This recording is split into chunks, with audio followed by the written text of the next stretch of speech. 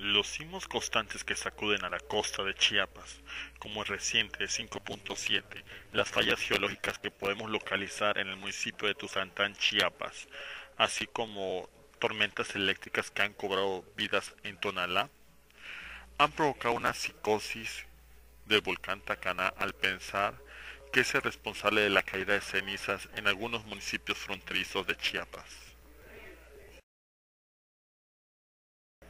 Sin embargo, esas cenizas que se han encontrado en los municipios de Unión Juárez, Tuzla Chico y Cacahuatán no son ni del volcán Tacaná ni del volcán Tajumulco que se encuentra cruzando aquí la frontera con Guatemala. El único responsable de estas cenizas es otro volcán que se encuentra al lado de Guatemala, conocido como volcán Santiaguito. El miércoles 7 de agosto del presente año del 2013 despertó este volcán, que se encuentra cerca del volcán de fuego de Guatemala.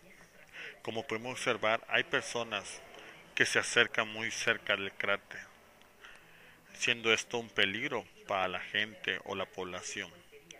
Sin embargo, los turistas no miden riesgos para tomarse una fotografía cerca de estas erupciones. Pero si de, si de hablar de evidencias del fenómeno OVNI se trata, ¿qué nos presenta este volcán Santiaguito?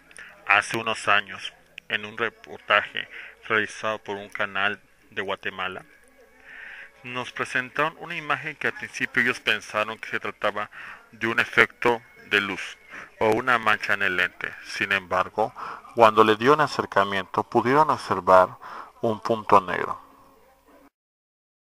Este punto negro y alargado se acerca al cráter del volcán Santiaguito, siendo esto una evidencia más de la relación del fenómeno OVNI con volcanes que se encuentran activos.